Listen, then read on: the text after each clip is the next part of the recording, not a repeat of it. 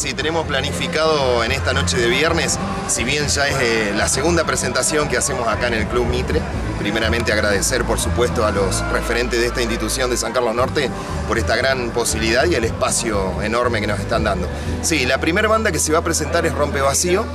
eh, en segundo lugar nosotros La Revuelta y acá los dueños de casa, los locales de la Metálica cerrando la, la actuación de la noche. Me decían más o menos entre 2 y 15 temas prepararon para esta noche cada banda.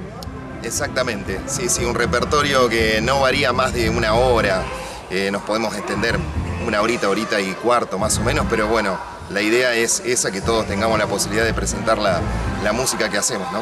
Bien, una gran posibilidad para los artistas luego de haber pasado por un momento eh, de pandemia donde los espectáculos estaban muy restringidos. Ustedes los artistas felices de poder subirse al escenario nuevamente. Sí, sí, para nosotros es importantísimo porque en un momento la abstinencia de volver a tocar ¿no? frente del público, volver a ensayar también, al principio no podíamos, pero, sí, también queremos recalcar también que la convocatoria está abierta para todas las bandas que quieran participar, que no, no solamente se cierran nosotros tres,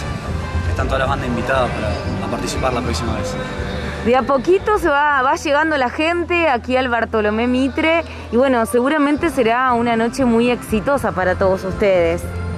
Sí, esperemos que sí, la verdad estamos ansiosos con Rompedacío de, bueno, de activar y de hacer un poco de música acá, muy agradecidos eh, acá con el Mitre y bueno, esta movida.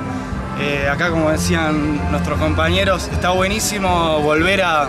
empezar a palpar esa situación de tocar en vivo, de tener eh, un vínculo con la gente, de si les gusta, si no, de hacer ruido, y un poco de la cultura de, bueno, la música en vivo, que un poco hay que remarla, últimamente